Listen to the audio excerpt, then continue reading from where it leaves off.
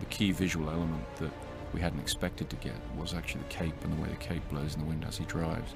We had devised with Lindy Hemming a backpack shape that the cape could fold up into using the, the, memory fabric idea from the first film. Originally, every time he rode the bike, we were going to use that backpack shape because we felt that the cape would immediately get caught in the rear tire and pull the rider off. But as Chris and his guys started to test the running of the bike with the costume on, they found that in fact it picks up the, the wind right away and it never actually got caught in the wheel. Um, I was delighted about this because I think there's something about the image of the cape flapping riding the bike that really makes it Batman, makes it what it needs to be.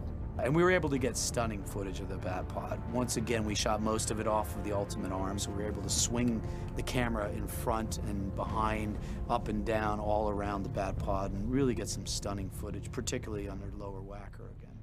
We photographed most